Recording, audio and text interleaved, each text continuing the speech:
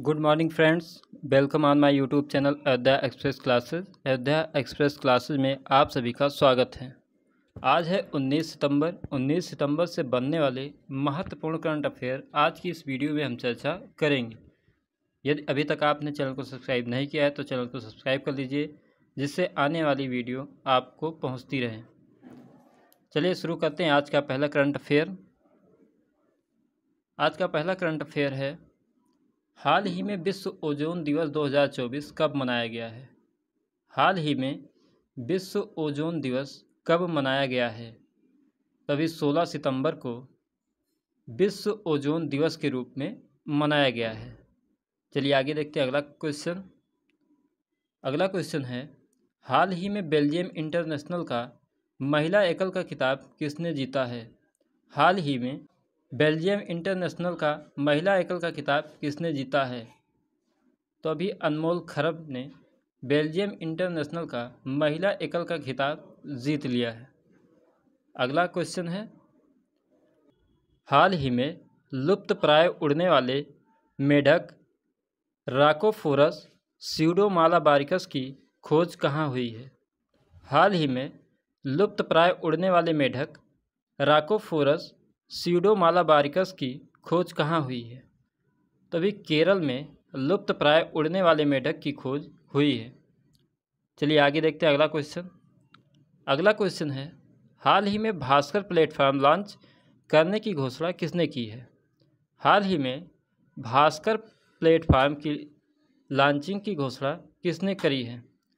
तभी वाणिज्य और उद्योग मंत्रालय ने हाल ही में भास्कर प्लेटफॉर्म लॉन्च करने की घोषणा की है।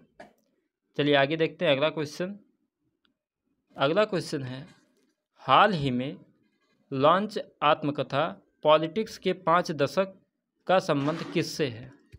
हाल ही में लॉन्च आत्मकथा पॉलिटिक्स के पाँच दशक का संबंध किससे है? तभी लॉन्च आत्मकथा जो है, पॉलिटिक्स के पाँच दशक, ये सुशील कुमार सिंधे से संबंधित है। चलिए आगे देखते हैं अगला क्वेश्चन अगला क्वेश्चन है। हाल ही में टाइफून यागी से प्रभावित म्यांमार, लाओस और वियतनाम की मदद के लिए भारत सरकार ने कौन सा ऑपरेशन शुरू किया है? हाल ही में टाइफून यागी से प्रभावित म्यांमार, लाओस और वियतनाम की मदद के लिए भारत सरकार ने कौन सा ऑपरेशन शुरू किया है? तभी भारत सरकार ने ऑपरेशन सद्भाव के तहत टाइफून यागी से प्रभावित म्यांमार, लाओस और वियतनाम की मदद शुरू की है। चलिए आगे देखते हैं अगला क्वेश्चन अगला क्वेश्चन है, हाल ही में नया घातक wetland virus W E L V कहाँ खोजा गया है? हाल ही में नया घातक wetland virus W E L V कहाँ खोजा गया है? तभी हाल ही में चीन में नया घातक wetland virus W E L V खोजा गया है। चलिए आगे देखते हैं अगला क्वेश्चन अगला क्वेश्चन है। हाल ही में शोध उपग्रह चामरान फ़र्स्ट को एम हंड्रेड रॉकेट से किसने लॉन्च किया है?